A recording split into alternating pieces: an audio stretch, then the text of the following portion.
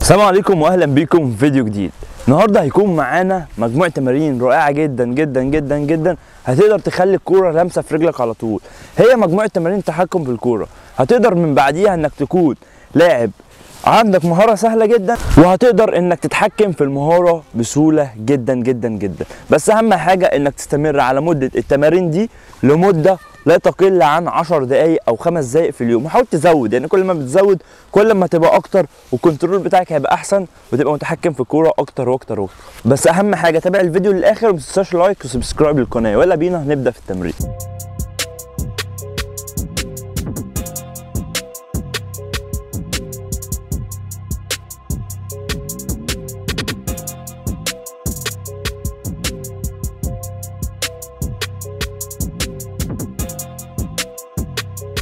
دي أول مهارة معانا وهي مهارة رائعة جدا حلوة جدا جدا جدا. هتساعد لاعبين كرة القدم على الانتقال السريع وقدرة على المراوغة والتحكم بالكرة الجيد جدا جدا جدا.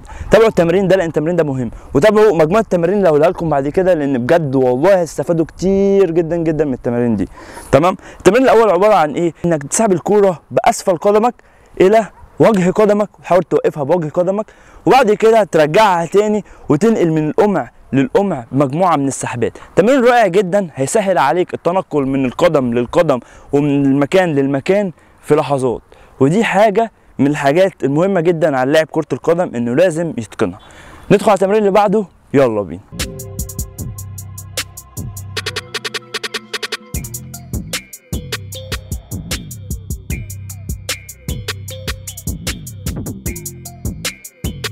التمرين ده من التمرينات المهمة جدا والرائعة جدا والحلوة جدا جدا جدا لأنك بتعمل إيه؟ أنت بيكون معاك قمعين فبتحاول إن أنت تعدي الكورة بين القمع وترجعها تاني تمرين حلو جدا بيساعد رجلك على التنقل والحركة ومن والتنقل من قدم للقدم ومن الأمام للخلف بالسحبة التمرين هيفيدكم جدا بصراحة وأتمنى إن أنتوا تستخدموه برده وتتابعوا المجموعة اللي أنا هقولها لكم في المجموعة الجاية.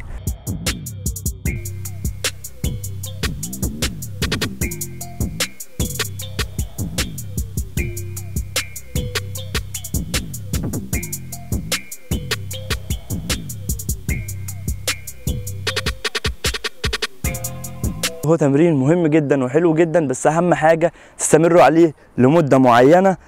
حاولوا تستمروا عليه شوية وبعد كده نخش على التمرين اللي بعده ونغير في التمارين تحاول إن أنت تنوع في مجموعة التمارين عشان الحاجات دي هتساعدك جدا جدا جدا. وزي ما أنتم شايفين قدامكم كده ده أسلوب التمرين اللي هو بيتعمل وهو حاجة رهيبة جدا وحاجة سهلة جدا جدا تقدر تستخدمها بسهولة وفي أي مكان.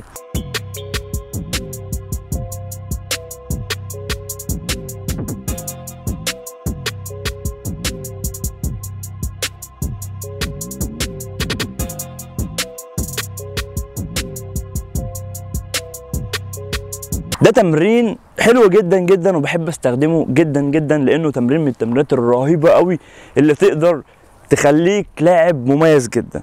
ليه بقى؟ لأنك أنت بتستخدم اتنين في واحد. اتنين في واحد إزاي؟ أنت بتعمل أول footwork بدون الكورة إنك بتحط تلات اقماع وتحاول تعمل footwork من غير الكورة تحرك رجلك.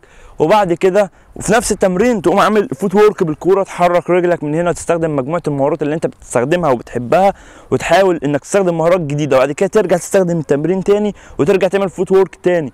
فهو بيفيد الجسم بينشط الجسم جدا سواء بدون الكورة أو بالكورة فدي حاجة جميلة جدا جدا جدا.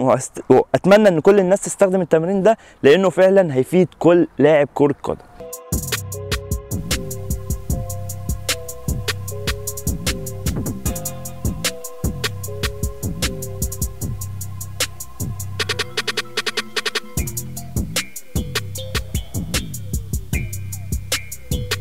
ندخل على التمرين الأخير معانا وهو تمرين رائع وتمرين جميل جدا جدا. لأنك بتستخدمه على شكل مربع. كل اللي بتعمل إنك بتعمل قمعين. فأنت بتستخدم الكورة على شكل مربع. بتحاول إنك تاخدها بالسحبه وبسحبة إلى أسفل وبعد كده بتنقلها إلى القمع التاني وبالقدم التانية بتشغلها. بتحاول تشغل القدمين. كل ما بتشغل قدميك الاتنين كل ما رجليك بتبقى أسهل كل ما رجليك بتبقى متيسرة أحسن بتبقى ناعمة وخفيفة أكتر تقدر إن هي تساعدك وتبقى كل حاجة بالنسبة لك سهلة. في أي حاجة مش عامة مش في المهارات بس في أي حاجة في التسديد في السرعة في أي حاجة تقدر تطورها بناء على الحاجات اللي بقولك عليها دي التمرين المكثف والتمرين باجتهاد وباستمرار وإن شاء الله الكل يتوفق بإذن الله. وبكده خلص حلقتنا. نتمنى انها تنال إعجابكم. ما تنسوش ال like subscribe القناة. أشوفكم في فيديو جديد بإذن الله. السلام عليكم